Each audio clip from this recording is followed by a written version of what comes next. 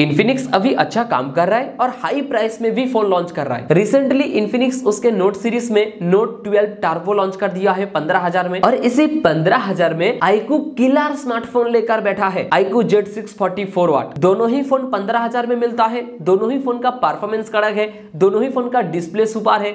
दोनों ही फ़ोन का बैटरी ज़बरदस्त है। आज इस वीडियो में दोनों फ़ोन के बीच डिटेल कंपैरिजन करूँगा और मैं आप लोगों को बताऊँगा दोनों फ़ोन में से कौन सा फ़ोन बेस्ट है या कौन सा फ़ोन आप लोगों को लेना चाहिए। चैनल में न्यू हो, सब्सक्राइब करके बिलाईकन को दबाकर मुझे सपोर्ट कर सकते हो। सबसे पहले डिज़ाइन के बारे में बात करते हैं। IQOO Z six forty four watt का जो डिज़ाइन है, वो थोड़ा सा अलग है। बैक साइड की तरफ़ देखोगे ग्लॉसी पैनल दिया गया है। एक अतरंगी डिज़ाइन है। बहुत सारे लोगों को ये डिज़ाइन पसंद भी आएगा और बहुत सारे लोगों को पसंद नहीं भी आएगा। पर्सनली मुझे इसका डिज़ाइन जो है, वो काफ़ी अच्छा लगा।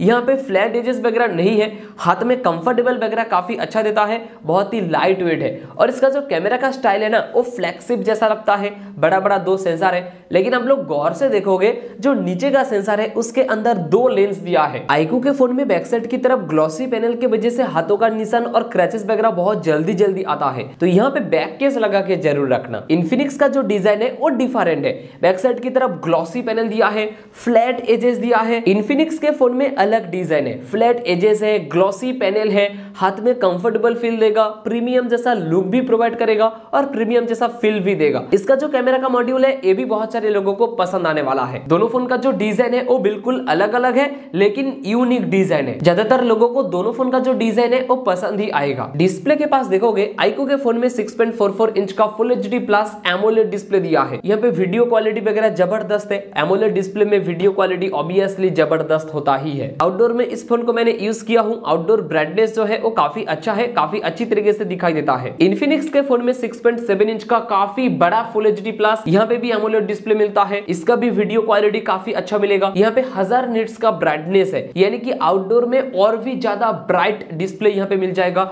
आईकू से। आईकू का डिस्प्ले ब्राइट है लेकिन आईकू के डिस्प्ले से इन्फिनिक्स का डिस्प्ले बहुत ज़्यादा ब्राइट है। दोनों ही फ़ोन में 4G चिपसेट मिलता है। आईकू में क्वालकॉम स्नैपड्रैगन 680 चिपसेट दिया है और इन्फिनिक्स के फ़ोन में मीडियाटेक का हिलियो G96 चिपसेट दिया है। दोनों फ़ोन को साइड बाई साइड में बहुत जल्द गेमिंग कंपेरिजन करूँगा, पबजी गेमिंग कंपेरिजन और मैं आप लोगों को बताऊँगा दोनों फ़ोन में से कौन सा फ़ोन बेस्ट है गेमिंग के लिए। इसी चैनल में तीन चार दिनों के अंदर वो वीडियो आ जाएगा, बहुत जल्द आएगा, उसके लिए थोड़ा सा इंतज़ार कर लो। और हाँ सब्सक्राइब नहीं किए तो सब्सक्राइब करके बेलाइकन को भी दबा देना, ताकि मैं जब भी गेमिंग वीडियो अपलोड करूँ, आपके पास नोटिफिकेशन सबसे पहले जाए। दोनों ही फ़ोन में 5000 थाउज़ेंड का बैटरी मिलता है। बैटरी जो लाइफ है, दोनों ही फ़ोन में आपको सेम मिलेगा। हाँ कभी कभार 19 बीस का फ़र्क हो सकता है, लेकिन सेम सेम मिलेगा, ये मान के चल सकते हो। लेकिन जो चार्जर है, वो अलग अलग है। इन्फिनिक्स के फ़ोन में थर्टी वाट का फास्ट चार्जर मिलता है। फुल चार्ज होने के लिए एक घंटा दस मिनट के आसपास लग जाएगा। उसी जगह में आईकू में 44 वाट का चार्जर मिलता है। आईकू एक घंटे के अंदर फुल चार्ज कर देता है।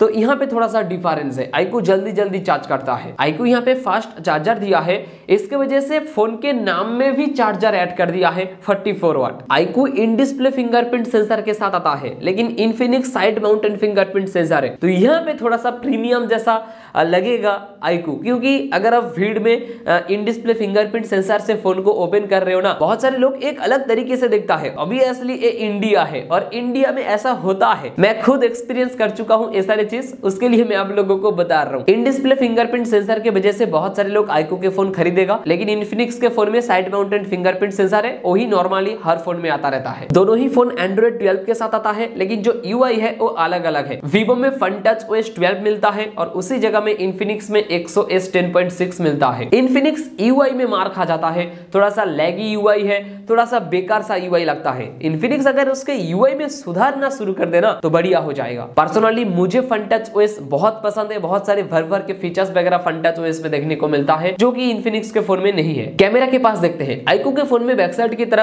ट्रिपल कैमरा सेटअप है, पचास दो दो और सोलह मेगापिक्सल का सेल्फी कैमरा मिलता है। इन्फिनिक्स के फ़ोन में भी सेम पचास दो दो ट्रिपल कैमरा और सोलह मेगापिक्सल का सेल्फी कैमरा ऑब्वियसली कैमरा में कोई भी कॉम्प्रोमाइज नहीं है आईकू विनर रहेगा वीवो का साफ़ ब्रांड है आईकू ऑब्वियसली वीवो जाना चाहता है कैमरा के लिए आईकू का कैमरा भी काफ़ी अच्छा है। कुछ कैमरा सैंपल मैं आप लोगों को आईकू का दिखा रहा हूँ, यहाँ पे देख लीजिए। ठीक ठाक है, ज़बरदस्त है। इन्फिनिक्स से बेटर आप लोगों को आईकू का कैमरा सैंपल मिलेगा। अब बात करते हैं स्टोरेज एंड प्राइस के बारे में। आईकू में तीन वेरियंट आता है। Four GB sixty four GB fourteen thousand five hundred rupees में six GB one twenty eight GB sixteen thousand rupees में eight GB one twenty eight GB thousand rupees में इन्फिनिक्स का एक ही वेरियंट आता है eight GB one twenty eight GB fifteen thousand rupees में अब बात करते हैं कौन सा फ़ोन लेना चाहिए। दोस्तों, यहाँ पे बहुत सारे लेकिन मैं आप लोगों को बता दूँ, अगर आप लोग एक ट्रस्टेबल फ़ोन ब्रांड के साथ जाना चाहते हो लॉन्ग टाइम यूज़ करने के लिए एक ब्रांड के साथ जाना चाहते हो तो मैं सजेस्ट करूँगा आईकू को। यहाँ पे बहुत सारे लोग नाराज़ हो जाएगा, क्योंकि इन्फिनिक्स का फ़ोन मैं रिक्वायरमेंट नहीं करा। मुझे ऐसा लगता है कि इन्फिनिक्स का जो यूआई है ना, वो थोड़ा सा और भी बेटर होना चाहिए। यूआई में थोड़ा सा लैग वगैरह है। अगर आप पंद्रह दे रहे हो, उसी तरीके से आप फ़ोन भी लेना चाहते हो ना कि अच्छा फ़ोन हो। इसीलिए मैं आईकू को सजेस्ट कर रहा हूँ। अभी आप देखिए